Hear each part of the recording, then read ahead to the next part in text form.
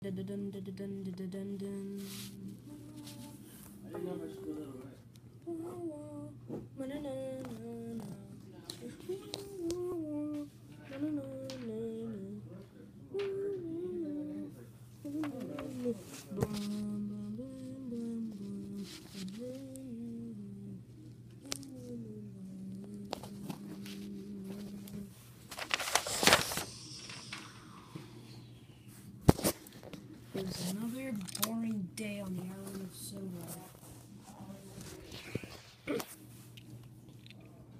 All the engines were working very hard. Dun, dun, dun. Come on, Eagle. Push.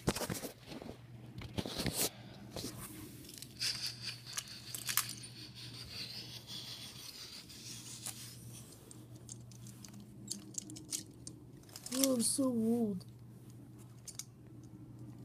Hmm. Just then, someone knocked all the engines. Said, "Engines, I have chap- I have bought another engine to help on the northwestern, on the Sodor Railroad. Yay! What's what's his or her name?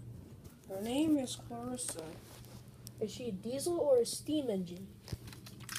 She is a very fast steam engine. And um Oh, I think that's her right now.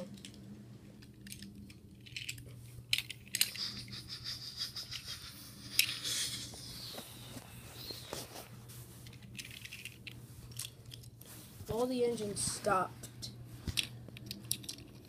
working and looked. Whoa. Hi, I'm Thomas. And I'm Tristan. And I'm Duncan. And I'm Duke. And I'm Edward. And I'm Eagle. And my, the name's cool. Name's cool Eagle. Hello.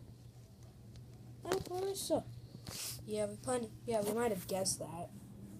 So um um we have work to do. So um nice to meet you. Yeah, it was nice to meet you. See ya. Yeah, we gotta go. Bye. Bye. Bye. Bye. Bye bye. So Clarissa, the job of the day is to help Eagle with the express. Okay. And the fatty puffed away. No, no, no, And the fatty walked away. Towards car. Oh, so fat. Oh, wow. Oh, crap.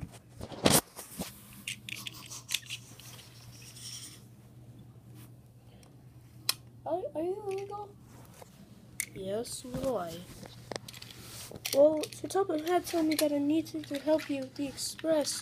Like I would take one carriage and you take two. Okay, I guess that works.